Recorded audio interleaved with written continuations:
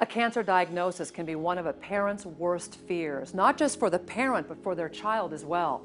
That's why the mission of Children's Hospital is to offer a comfortable, optimistic, and loving environment, as we see in this tour of the oncology unit. When a child is diagnosed with cancer, it affects the entire family, so we try to make our environment as family friendly as possible. So we've created some space within the, uh, our floor that allow for uh, parents to be here for long periods of time and siblings as well. One of the areas that we have that we have available for parents is our Ronald McDonald Day Room. Parents can come here and get a cup of coffee or they can go to the fridge and make themselves a snack. And parents like to spend some time together, parent to parent, mm-hmm. um, and so it gives them kind of a support group and they can spend um, some time away from their children and just talk to one another and share about their experiences. So, and parents, because we spend, they spend so much time here, they get pretty close to each other. So um, they become, uh, we all become family.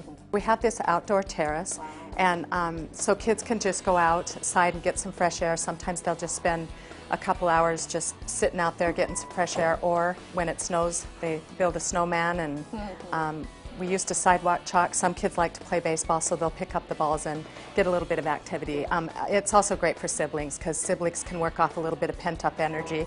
Um, can you tell us about the flagpoles? Yes, um, the flagpoles were a donation from the Ripon Foundation. They're uh, um, meant to um, signify when a patient is here, they make their own special individual flag, and then we raise that flag when the patient is inpatient so that um, people from all over the city, really, when they're coming in, can see that particular flag. This is our playroom. Uh, this room really comes alive in the afternoon. During the first part of the day, the kids are usually in their rooms. The doctors are making rounds and they're making decisions about what's going to happen with their care. But in the afternoon, this, uh, this room definitely lights up, and it's also a really good place for um, siblings to gather and to have mindful activities that they can do together. From their mental perspective, it's good for them to get out of their room. We also have uh, patients and family members that like to gather out here and play with the Wii. It's kind of fun to watch them um, compete with each other and get together. A lot of our patients make friends, and so they'll often come out here and play with the Wii together as well. So our patient rooms, we also try to make family friendly as well. Every room is has a couch, a day bed for one of the family members to stay. All the rooms are sectioned off in three sections. The back end is for a family member to stay. And there's plenty of room uh, for the family member to put their clothes and to sleep at night. The bathrooms are very large so that both whomever is staying in the room can shower easily. Every room is equipped with a refrigerator. Every room, of course, has a TV and a DVD, um, you know, an ability to play more video games. It's, it's something easy that the patients can do while, while they're resting, and it keeps them engaged in another activity. Another thing I'd like to show you is the teen lounge.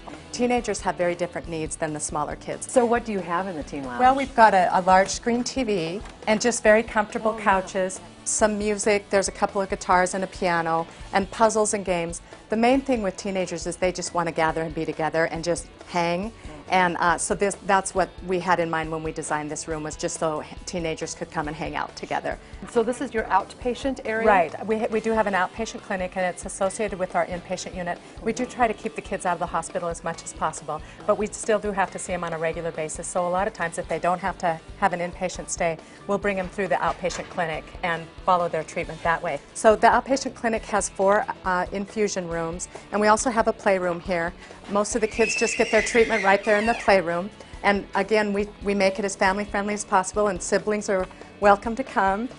Uh, kids do better when they have their when they're surrounded by their family, So we definitely encourage that and let them play as much as possible. Kim, you must be very proud of the oncology unit. I'm very proud of it, and part of the treatment is the team, the team that comes together to treat these kids and their families, but also being able to offer them such nice surroundings and such a nice environment makes a huge impact on their outcomes. Not all superheroes wear capes, but like 11-year-old Nikayla, who was diagnosed with sickle cell anemia as an infant, they approach life with the same bravery and gusto as a superhero. Sickle cell is when you're blood is not shaped like usual, like other people's. Mine is shaped like a half moon. A little girl with a big personality, 11 year old Nikayla Taylor is a regular at Sacred Heart Children's Hospital. She visits every couple of weeks for treatments to help her body combat the effects of sickle cell anemia and prevent painful episodes common to the disease. One port hurts when the needle gets in, feels like something weird and the other one doesn't. For the medical staff, comforting their young patient is just as important as treating their disease.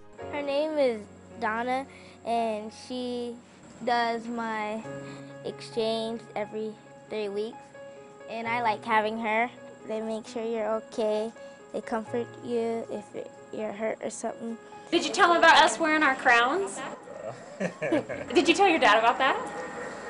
We went to several hospitals just because I'm in the military moving around, and my daughter. I've been to several different hospitals, and this is one of the best. I mean, the uh, the staff here is uh, outstanding. I can't nothing say but good things about them. I like being here. I think it's fun, and I like to make the people here laugh.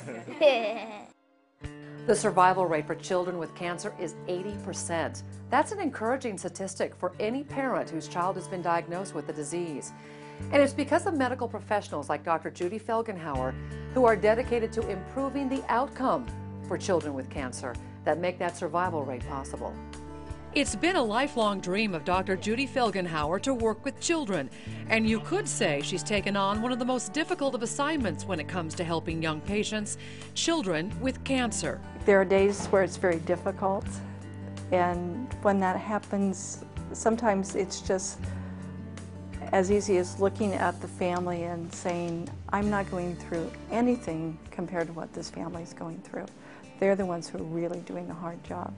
Dr. Felgenhauer came to Sacred Heart seven years ago to develop the hematology and oncology clinic at Children's Hospital from the ground up. We are now at the point where we're starting to focus on our subspecialty clinics and populations.